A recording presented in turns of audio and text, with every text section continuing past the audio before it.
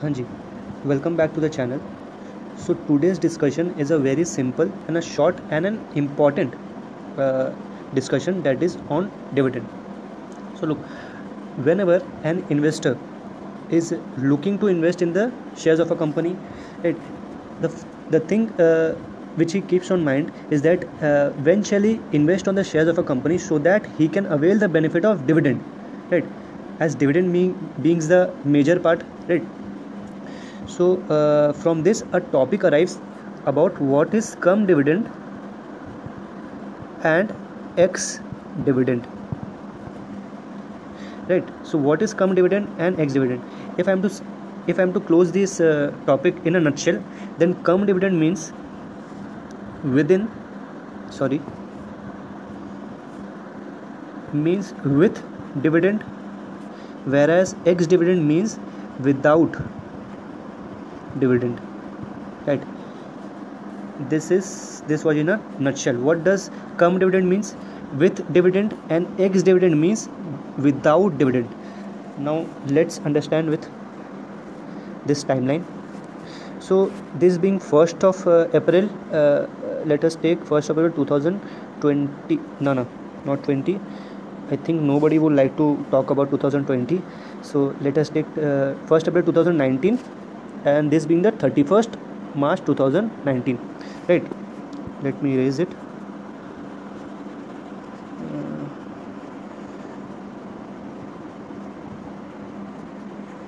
so this is 1st of April 2019 and 31st April 2019 this being the financial year. Right.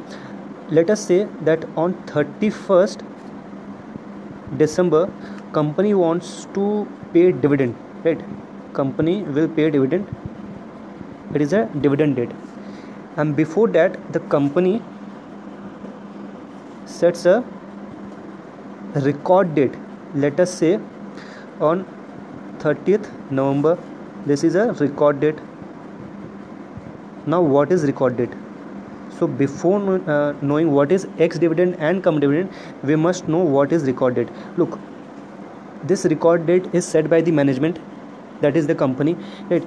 That within if within this record date if any of the investors or beings the shareholder invest in the shares of a company then he can avail the benefit of dividend.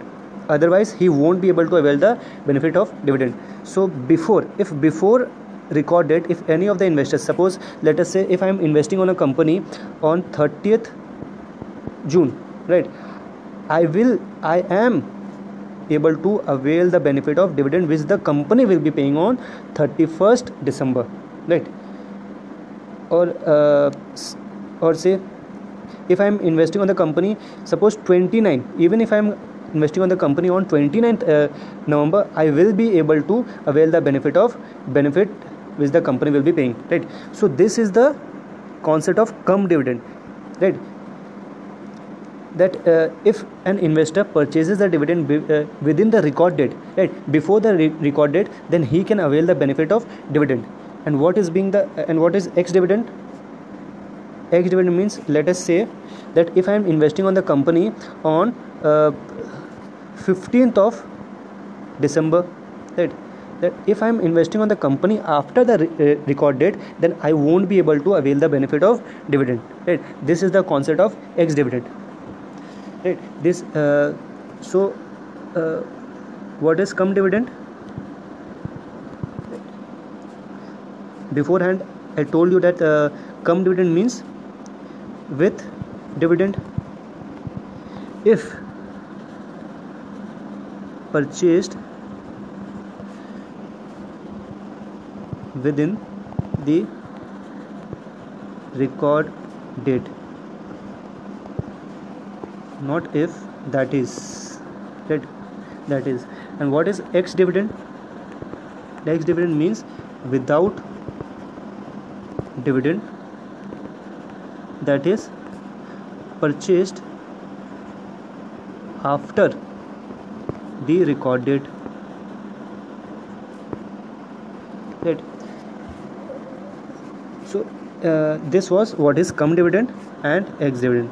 So we can also derive the concept of pre-acquisition dividend from here. That is if uh, as i told you that uh, uh, I am purchasing the shares on 30th June and I'm and I'm availing the benefit of dividend on 31st December right? Let us say that uh, uh, the shares which I'm holding is 10,000 shares right?